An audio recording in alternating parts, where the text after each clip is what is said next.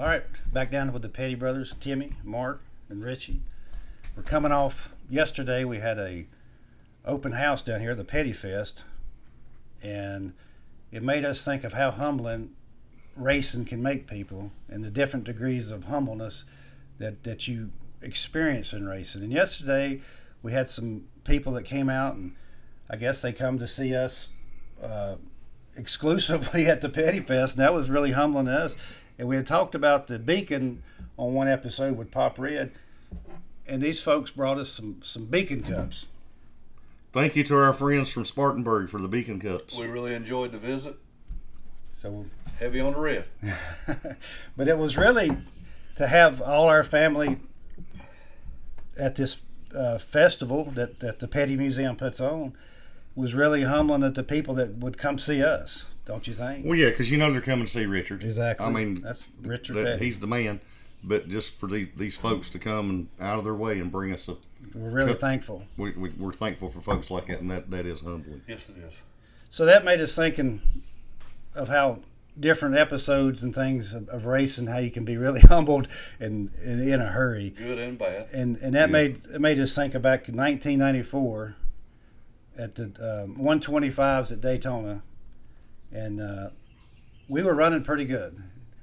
Yeah, we'd run good all, All week. weekend, we'd run yeah. good since Oh, we got yeah. it was one of our better. But that was the week of the uh, when they you know they had the, they had Hoosier tires and Goodyears, and it was a you know Neil Bonnett got killed that week and Rodney Orr, so it was a tough weekend anyway. Well, it's been labeled as the toughest speed weeks ever in And 1994. I, and I, I would say that's a, a, good, lot of reasons I, for it. I, I will agree with him on that. That was that was a tough week, but we were running pretty good that day. I think we were running ninth, tenth in the one one twenty five. We- we was solid in the field. Running really good, and uh, we were just one of y'all uh, had come across and said, "Hey, you, you're in good shape. Just just cruise, just just ride," because it was early in the race. Well, coming off of four there, I don't know. You know, when you when you're drafting and all, you, you have to have a little respect for the guy in front of you, you know, and you got to stay off of him. That means you got to kind of trail brake a little bit and stay off of them.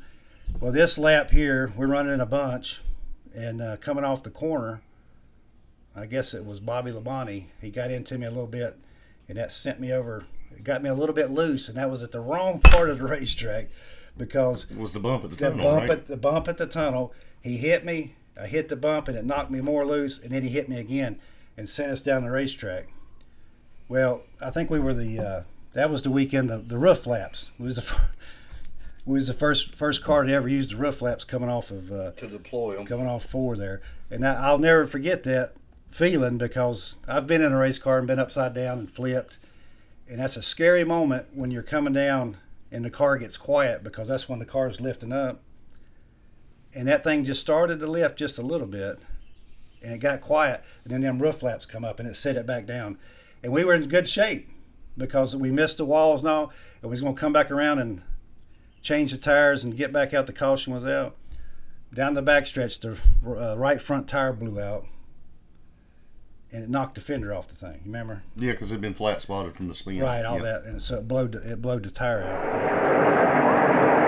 Whoa, car out of control. That is Richie Petty. Trying to get it back, just misses the wall and slides back into the grass. Yeah, that grass is wet, so he's going to take a little slide there, but he was very fortunate not to hit the wall. Now But the humbling part, this is this has been a long story to get to, but the humbling part about this was when we got to the um, the garage, Junie Donlavey and uh, Harry Hyde and, and all these great folks, they come running to our car and they was like, boys, whatever you need from our trucks, we, we want y'all in this race. Come get what you want, get what you need. And uh, so that was Yeah, they were willing to help us fix it. Oh, and then we were just just three three three three kids from Level Cross trying to make a race. I know the Chiefs a big name, but the three of us, it was just humbling for all of us, don't you think? Oh, absolutely.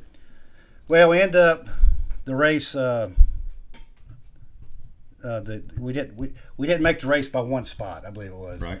So, so that was the next humbling Yeah. moment in racing. So anybody roller want to? coaster ride? Yeah. Any, anybody want to jump in on that?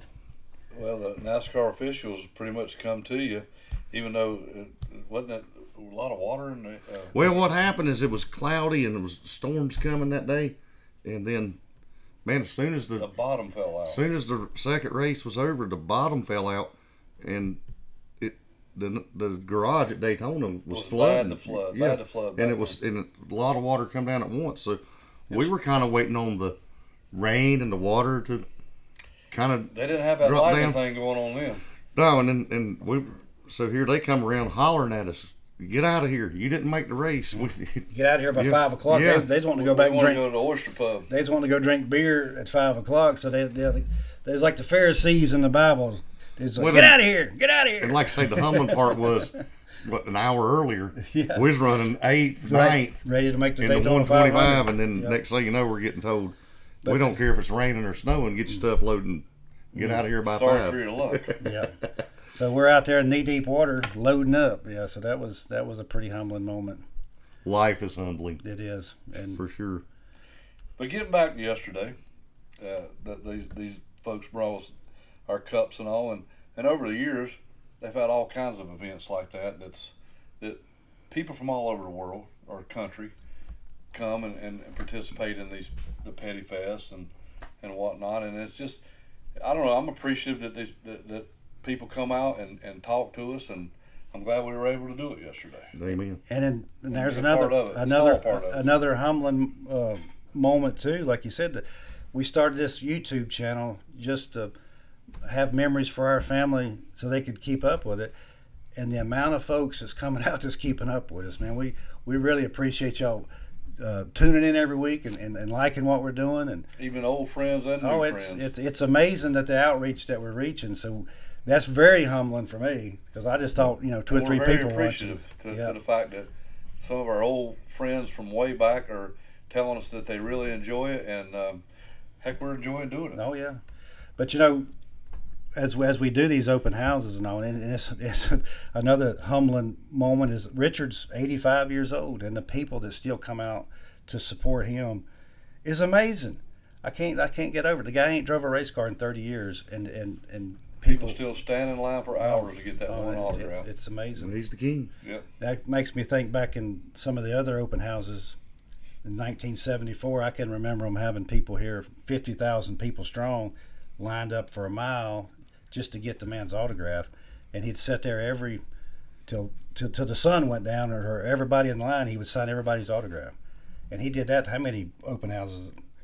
From Well, not just open houses, just any event they've ever had. He, you can depend on him. Oh, being- Or yeah. even after a race at the racetrack. Right. I mean, But I'm just saying, here at the, they would do these two day event deals, and I, I remember 1974 was a big one, and then 1983 is 25th anniversary, and then he did the 1988 one, and then the 92.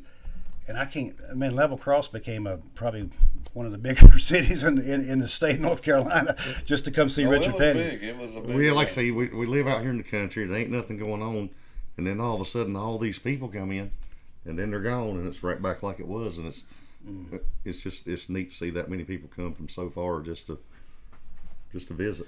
So Can't even fathom it. we're we're we're grounded and we understand it how humbling of an experience it is. And, and we we still think this fan support. We thank y'all for tuning in to our channel. And we ask that you like and subscribe. And hey we hope we have a lot more stuff to offer for you. Appreciate you. Of all the champions in stock car racing, Richard Petty is the greatest. As you look out here and see all these people and of Richard's success, uh, what does it mean to you? It's uh, what you call an inner satisfaction. I really can't express it, but it's it's an inner satisfaction that uh, you accomplish and it materializes over the years.